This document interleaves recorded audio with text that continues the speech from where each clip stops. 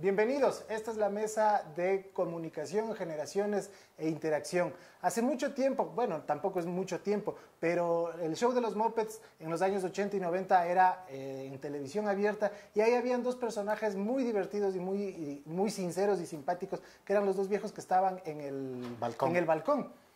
¿Cómo ellos siguen funcionando y cómo esa interacción que realizaban ellos con el televidente se muestra ahora en las diferentes generaciones de usuarios de diversas pantallas.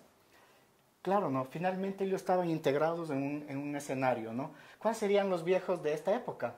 ¿Cuál sería la cómo estaría, cómo, cuál sería su balcón? Exactamente, ¿y cuál sería la forma como los jóvenes o las culturas nuevas se relacionan con estos viejos utilizando el mismo balcón?